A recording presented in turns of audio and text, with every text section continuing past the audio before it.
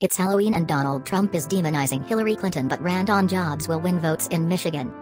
After listening to people at a Trump rally in the Democrat stronghold, it becomes clear what rhetoric strikes a chord with those in America's hardest hit communities. It is Halloween, and I am standing at the front of a Donald Trump rally. What could be more terrifying? In addition to the carved pumpkins and fake cobwebs, there are people wearing Statue of Liberty costumes, draped in American flags, even some dressed as Trump himself. Videos play on repeat over big screens, showing Trump promising to win and demonizing Hillary Clinton. Again and again, those infamous emails come up. The crowd gets whipped into a frenzy. Lock her up. Lock her up, they chant, waving their Make America Great Again placards. At first sight, it appears to be everything I had feared. And yet, as I actually start to speak to people here, the Halloween horrors begin to disappear. Tim Mashburn has driven for almost an hour to see Trump speak, the retired engineer from a small town in Michigan would never normally bother with politicians, but the Donald, it seems, is different. He's got the right message, he says. He's right on immigration, he's right on jobs, he's right on the economy. It's all about jobs in Michigan. We used to be the capital of the automotive works and now it's gone. It went to China, it went to Mexico. Tim's verdict is repeated again and again as I mingle with the 7,000 strong crowd. People are angry. And they are angry about jobs. Michigan is a fascinating case study as one of a handful of swing states that will decide the next U.S. president. The state capital is Detroit, perhaps the ultimate symbol of the collapse of America's once proud industrial heartlands, which has fueled so much anger among the working classes. We are 150 miles west of Detroit, in Michigan's second city, Grand Rapids, the birthplace of boxer Floyd Mayweather. Michigan was once dyed-in-the-wool Republican, but since 1992 has voted Democrat at every election. Trump is losing here, badly. Behind in every Michigan poll for the past month, he aims to turn things around by focusing almost exclusively on the economy. The message resonates with people like Tim who have witnessed firsthand how globalization has ripped the guts out of America's industrial sector. I was an engineer. I saw jobs shipped to China, so it hits home with me, he says. And it's not just retired folk backing Trump. Parents have brought children and grandparents. Groups of teenagers stand awkwardly in Trump, Pence caps. And, weirdly for a political rally, People are thrilled to be here.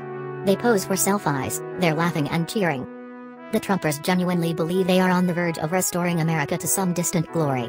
And they genuinely believe Clinton should be in jail. Away from the economy, most of the rhetoric coming from the stage is the sort of hideous right-wing tub-thumping we've come to expect.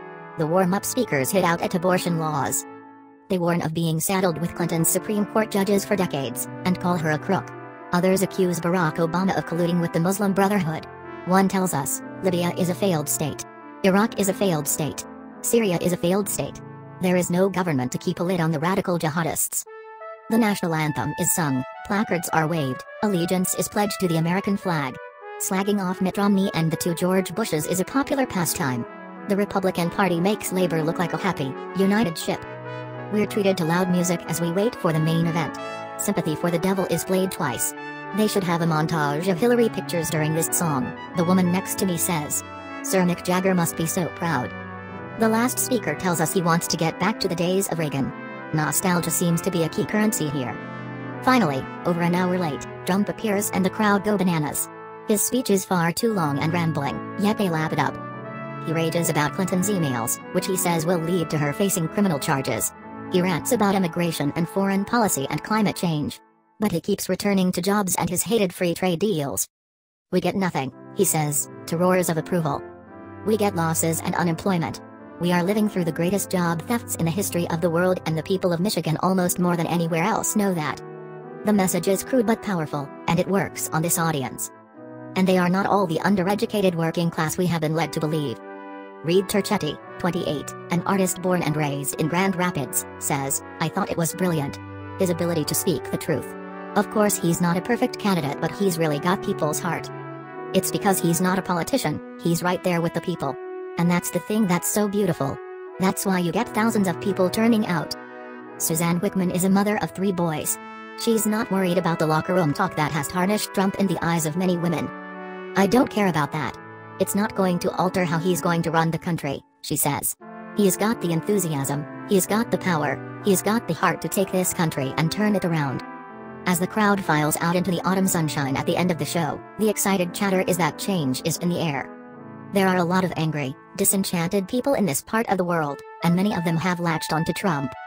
As the latest national figures show Clinton ahead by just one percentage point, at 46% to Trump's 45%, the worry for the rest of the world is that Trump might yet ride this wave of anger all the way to the White House.